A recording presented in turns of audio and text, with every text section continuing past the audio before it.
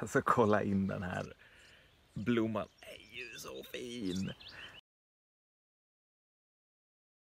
Um, det här är Sidonia oblonga, en kvitten, eh, äkta kvitten till skillnad från rosenkvitten som i och för sig också är väldigt trevlig.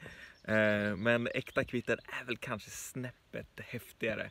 Ehm, kvitten, äkta kvitten Sidonia oblonga växer ju på träd.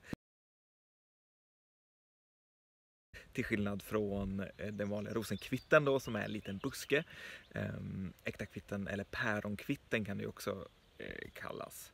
Får de här otroligt stora, fina, rosa blommorna i slutet på maj. Det här är typ den sista blomman som jag lyckades hitta som var fortfarande okej. Ehm, okay. Um, för mig så har, har kvitten varit en sån här lång eh, kärleks... Eh, kungörelse, eh, kärleksaffär. Eh, ända sedan jag hängde runt på Mandelmann så hade plantskola hemma hos dem där. Och såg deras kvittenträd eh, som bara dignar under de här liksom, stora rosa blommorna och, och sen senare på året får gula, otroligt aromatiska frukter som bara gör att det doftar i hela trädgården. Och så däremellan så, så har de här schyssta, så här, ja, men lite silvriga, ludna bladen. Som...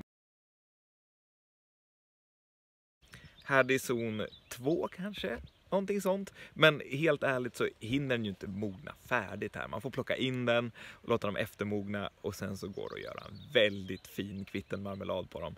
Eh, kolla in Maries eh, recept i, i, deras söta kokbok. Det är fint. Jag tror att det är den söta, eller om det var deras första. Jag vet inte.